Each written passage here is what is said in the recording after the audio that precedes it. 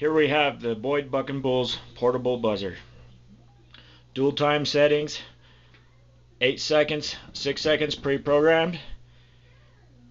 Horn tucked away inside the can. On this side you have 12 volt charging port.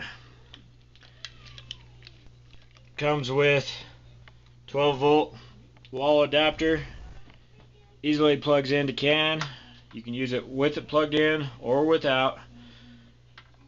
If you don't need it plugged in, inside the can, there's a nice opening here. Easily tucks in for the charger.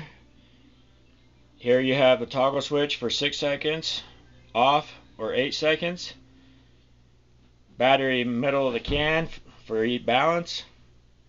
Dual timing boards, 6 seconds, 8 seconds.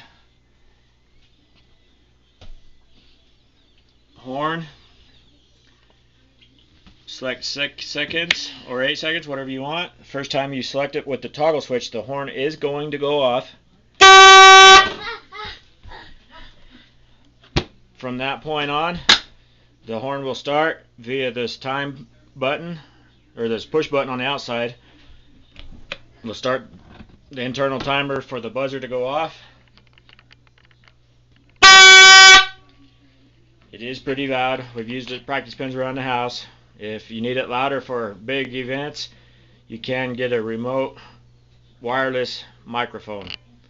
Thank you.